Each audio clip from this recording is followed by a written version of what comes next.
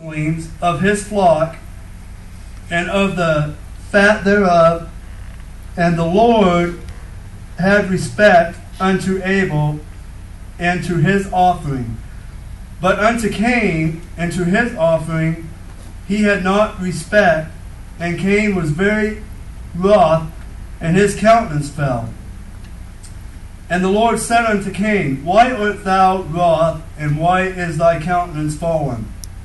If thou doest well, shalt thou not be accepted? And if thou doest not well, sin lieth at the door, and unto thee shall be his desire, and thou shalt rule over him. Praise God. I mean, I could preach on that probably five days. Just that one verse. You know, you, you look at that. He told Cain, If thou do not do what is acceptable and right, sin is lying at the door, ready to make its way in, ready to have its way with, with you. And so later on, you know the chapter, he kills his brother Abel because he's jealous, because his sacrifice was more acceptable than Cain's. And, um, and so Cain went out with his brother one day and killed his brother. And, uh, and God asked Cain, Where's your brother? And uh, Cain says, Am I my brother's keeper? You know? I mean, I could just imagine Cain's a- attitude, you know. Am I my brother's keeper? You know? But Abel was a righteous person. I mean, his sacrifice was was more better because he was in a right mind. He was in a right attitude with, with God. But Cain, however, his attitude uh, stunk. You know, uh, people say stinking thinking, you know. And so that's what Cain's was. He had that stinking thinking.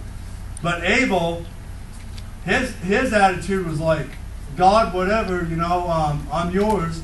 You know, use me. You know, accept my my offering. You know, and so God accepted his offering. You know, and used and used him. And and then later on in that chapter, like like I said, he kills his his flesh and blood. And you know what comes to my mind on that? You know, there's going to come a day when when brothers are going to turn in their uh, mothers, brothers and sisters will turn in their mothers and fathers, and fathers and mothers will turn in their children to be persecuted.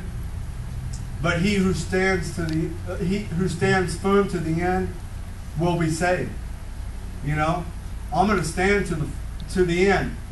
You know, because my salvation is more important than turning in my Christian Christian brothers and sisters. You know, I ain't going to turn you guys in when that day comes, and I hope you don't turn me in. You know, I want to stand together. You know, as family. You know, and so I just want to praise God on tonight. You know, and and ask that the Lord would bless uh, uh, Pastor West and his family and and the church here. Amen. And I'm, I'm glad to be a part of your family, you know, and I'm glad that the Lord brought us together, you know. I mean, you know, there's a song that talks about bind us together in love uh, with chains that cannot be broken. That's what I want. True family that I can bond together with.